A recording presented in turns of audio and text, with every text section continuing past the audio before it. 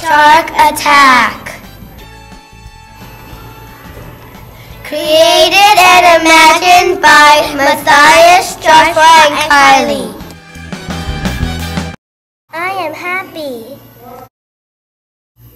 Once upon a time, there was a beautiful mermaid named Sparkles.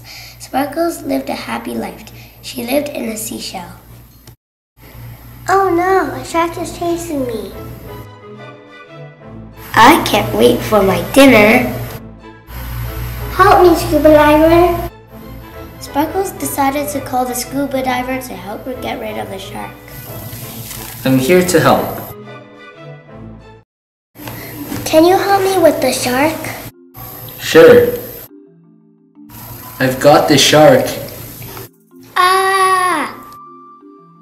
You're safe now, Sparkles. I have no dinner now. The scuba diver brought the shark far away from Sparkles. Thank you. Sparkles thanks the scuba diver for helping her get the shark away from her.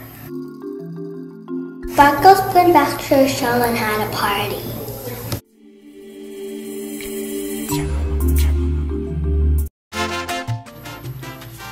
The end.